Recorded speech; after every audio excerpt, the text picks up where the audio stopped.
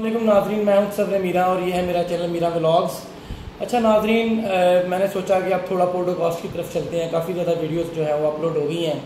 तो आज मैंने एक बहुत ही अहम मौजू के ऊपर बात करनी है। बहुत सारे लोग मैसेजेस करते हैं कि सर हमारे बाल बड़े गिरते हैं और हमारे बाल जो हैं इतने कमज़ोर हैं।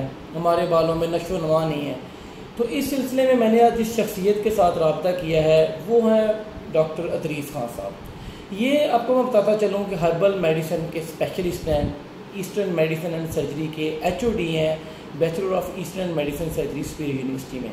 जैसा कि पूरी दुनिया, आप नाजीन जानते हैं कि अब तिब की तरफ़ वापस आ रही है। यानी लोगों ने एलोपैथिक मेडिसिन का इतना इस्तेमाल किया है, उसके इतने साइड इफ़ेक्ट्स देखने को मिले हैं कि अब लोग आहिस्ता आहिस्ता जो है, बल्कि बहुत सारे डॉक्टर्स भी और सारी कम्युनिटी के लोग जो हैं, वो हर्बल मेडिसिन की तरफ़ आ रहे हैं। तो हम डॉक्टर साहब को अपने चैनल में वेलकम करते हैं। अस्सलाम वालेकुम डॉक्टर साहब। सर क्या हाल है खरीद से ठीक है। तो डॉक्टर साहब पहले से ये बात बताएँ कि बाल गिरने की उम्र कब से शुरू होती है? कि बाल गिरने की कोई उम्र भी नहीं है। बाल इवन 80 साल की उम्र में भी नहीं गिरते। ठीक है। ठीक है ना? ये कोई कंपल्शन नहीं है कि इस एज के बाद आपके बाल गिर जाएँगे।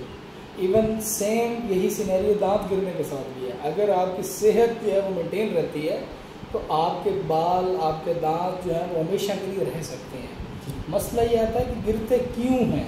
डॉक्टर साहब बिल्कुल जी दूसरा अहम सवाल ये है कि डॉक्टर साहब बाल गिरने की कुछ बुनियादी तीन चार वजूहत बताएँ ताकि हमारे ऑडियंस को वो याद रह जाए। जी सबसे पहली बात ये होती है कि जब आप किसी बीमारी में मुबतला होते हैं तो आपके बाल गिरने शुरू होते हैं। आप देखते हैं कैंसर के मरीज़ के बाल गिर रहे होते हैं। आप देखते हैं गुर्दे के मरीज़ के बाल गिर रहे होते हैं। जो डायलिसिस पे जाता है उसके बाल गिरते हैं आप डेंगू के मरीज़ देखते हैं उसके बाल गिरना शुरू होते हैं। इस तरीके की जो क्रॉनिक बीमारियाँ हैं सबसे पहले तो उनमें बाल गिरते हैं। ठीक हो गया। दूसरी चीज़ ये होती है जब आप बालों की सफ़ाई नहीं रखते बालों की केयर नहीं करते बालों को जो गज़ा रिक्वायर्ड है वो नहीं प्रोवाइड करते तो फिर बाल गिरते हैं।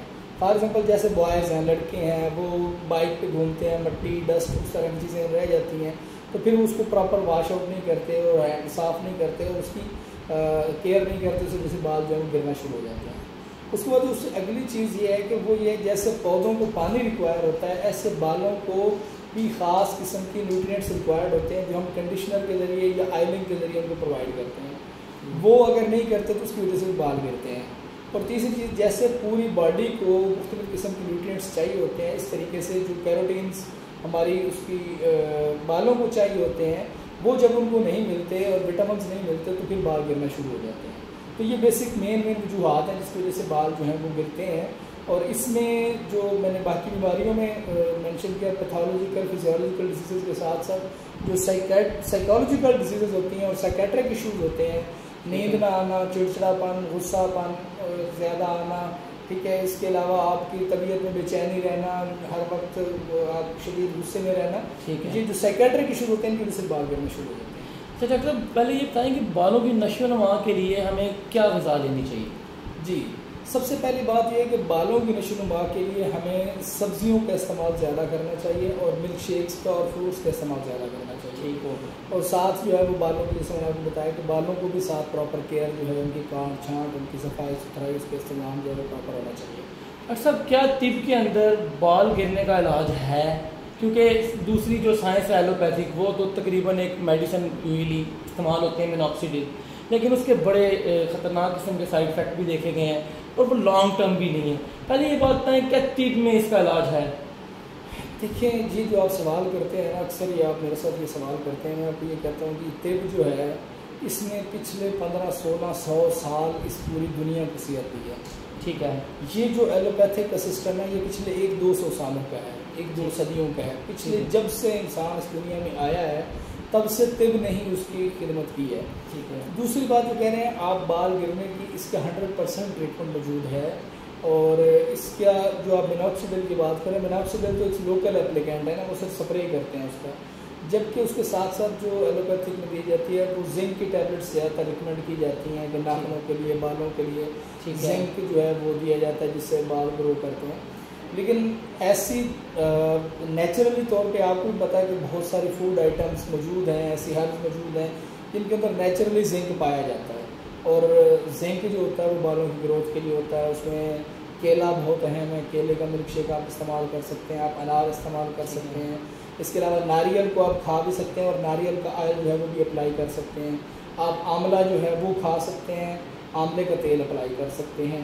डॉक्टर साहब आखिर में वीडियो की लेंथ बढ़ती जा रही है। थोड़ा सा ये बताएँ कि कोई ऐसा प्रॉपर एक नुस्खा बता दें कि जो सुबह शाम लें या कोई ऐसा आयल बता दें ताकि हमारे नाजरीन वो कम अज़ कम अपने घर में बैठ के इसको फॉलो कर सकें।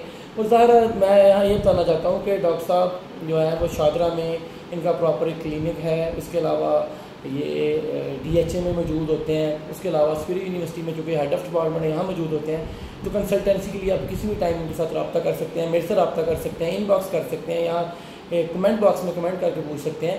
तो यहाँ पे एक, लेकिन मैं इनसे रिक्वेस्ट करूँगा कि ये एक नुस्खा ज़रूर बता दें कि जो हमारी माएँ बहनें परेशान हैं, बेटे या और भी ज़्यादा उम्र के लोग परेशान हैं क्या करें? उसमें सबसे पहली चीज़ जो बड़ी अशद ज़रूरी है, वो आप कोई सभी तेल वक्त मार्केट में खालिश मिलना मुश्किल है। इवन सरसों का तेल भी अगर आपको खालिश मिल जाता है तो गनीमत है। अदरवाइज़ ज़्यादा रिकमेंड ये किया जाता है, तेलों का तेल, जिसको रोगन कुंजर भी कहा जाता है। आप मेथी के बीज लें, जिसको मेथरे कहा जाता है, तिलों का तेल लें। और मतलब फॉर एग्ज़ाम्पल अगर आप एक पाव तिलों का तेल लेते हैं तो उसमें हंड्रेड ग्राम जो है वो मेथी दाना या मेथरे और उसमें पचास ग्राम जो है वो धनिया के बीज जो होते हैं, जिसको हम खुश्क धनिया भी कहते हैं, उसको बोतल में डाल के या किसी बर्तन में डाल के एक दिन के लिए धूप में रख दें और अगले दिन से आप उसकी मालिश शुरू कर दें। तो इन आपको एक, और उसमें से वो आप बीज निकालें नहीं, वो पेंदे में बैठे रहेंगे, बस आप उसका आयल यूज़ करते रहेंगे जब बल्कि ख़त्म हो जाए, उसमें और आयल मिक्स कर सकते हैं। वो आप लगाते जाएँ, आप एक मेरेकल इफ़ेक्ट आना शुरू हो जाएँगे, जो बाल पतले हैं, कमज़ोर हैं, वो मोटे होना शुरू हो जाएँगे। जो बाल गिर रहे थे वो गिरना रुक जाएँगे, जो रूखे बाल थे उसमें शाइन आना शुरू हो जाएगी। ये मेरा काफ़ी अजमुदा है इसमें और ये एक ऐसा टिप है जो आप यूज़ कर सकते हैं। डॉक्टर साहब, ये तो बहुत शुक्रिया जी आप प्लीज़ वीडियो को पूरा देखें तो उसको नोट ज़रूर फरमा लें। डॉक्टर साहब, कोई आयल है ऐसा कि जो मतलब बना बनाया क्योंकि आजकल बिज़ी हैं लोग। तो आप जैसे हिरणों का मरबे की बात की है, वो कितनी लेनी है? सुबह, शाम, आमले का तेल अगर लगा सकते हैं कि नहीं लगा सकते? थोड़ा सा जो आम एक नेचुरल देखिए, वो मुख्तलिफ़ प्रोडक्ट्स हैं, मुख्तलिफ़ कंपनीज़ की हैं। उसमें जो मैं ज़्यादा रिकमेंड करता हूँ, अगर आप मार्केट से लेना चाह रहे हैं तो अजमल दवाखाना का रोगन गैसू दराज के नाम से आता है। रोगन गैसू दराज आप इस्तेमाल करें तो वो ज़्यादा इफ़ेक्टिव हो सकता है। तो ये कंपनी की प्रोडक्ट है। बाकी मैंने आपको कहा कि सबसे बड़ी बात ये है कि आपको कोई भी खालस तेल मिलता है, उसकी आयलिंग ज़रूर करें। लेकिन आयलिंग में एक चीज़ बड़ी अहम है, वो ज़रूरी है लोगों की कि आयलिंग लोग ज़्यादातर ख़वान हमारी उस वक्त करती हैं, जब उनका नहाने का मूड होता है तो थोड़ी देर आयलिंग करके फिर नहा लेती हैं। वो इफ़ेक्टिव नहीं रहता क्योंकि उस वक्त स्किन के मसाम बंद होते हैं आपकी स्काल पे तो वो अवजार भी नहीं होता। आप जब सर वाश कर लें, आपकी स्किन स्काल पे वॉश हो जाए उसके मसाम को ओपन हो जाए तब जब आप आयलिंग करते हैं तो उस आयलिंग की एब्जॉर्बशन होती है और उससे फिर जो है वो उस आयलिंग का इफ़ेक्ट आता है। तो आप उस वक्त आयलिंग ना करें जब आपकी स्किन गंदी हो आपकी स्किन वॉश ना हो। स्किन वॉश करने के बाद आप आयलिंग करेंगे तो ऑब्जॉर्व होगी उसके इफ़ेक्ट तो नाजरीन उम्मीद है आपको आज की वीडियो बहुत पसंद आई होगी। मैंने आ, आगे तीन चार पाँच वीडियोज़ में इन प्रोटोकॉल्स का सिलसिला रखना है। हम तिब के हवाले से डॉक्टर साहब से मशवरा लेते रहेंगे और डॉक्टर साहब से ये ज़रूर पूछेंगे कि इन्होंने ऐसी कौन सी डिग्री की है? इसकी बुनियाद के बाद इनके पास इतना नॉलेज है और ये दुनिया को जो तरफ़ लेके आ रहे हैं। अपना और इस चैनल का ख्याल रखें। अल्लाह हाफिज़।